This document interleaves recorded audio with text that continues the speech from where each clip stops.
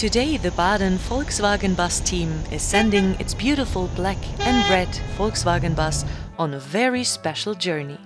This antique is going to be modeled in aluminum.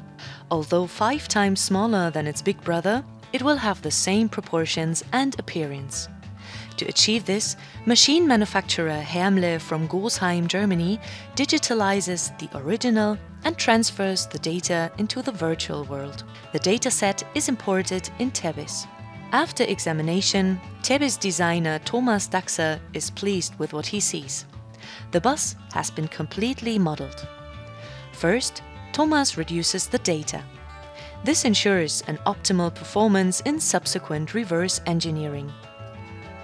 For example, he splits the bus into two halves. Then he only has to prepare one side. The other side can be mirrored. Thomas also optimizes the actual meshes. He can now continue working very efficiently with this compact dataset. The bus is ready for reverse engineering. Thomas creates a rough boundary so he can calculate the surfaces on the reference mesh. The quality of the surface is enhanced with what's called zebra shading. The surface is interactively optimized with just a few mouse clicks. Thomas assigns a constant curvature transition.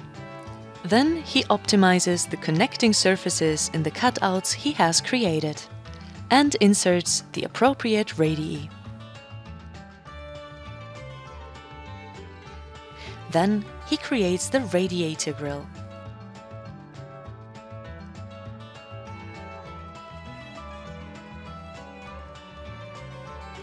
Finally, the redesigned data is mirrored and scaled.